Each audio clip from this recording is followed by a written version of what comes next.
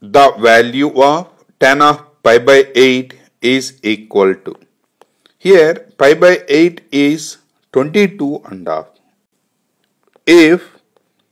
a plus b equal to pi by 4 that implies 1 plus tan a into 1 plus tan b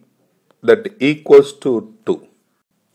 Put a equal to b we get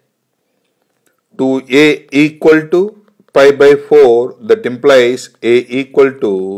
pi by 8 therefore 1 plus tan a into 1 plus tan a that is 1 plus tan a whole square that equals to 2 that implies 1 plus tan a equal to only root 2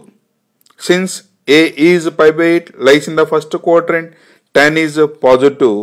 so that is root 2 tan a equal to root 2 minus 1 that equals to rationalizing the numerator that is 1 by root 2 plus 1 the correct answer is first option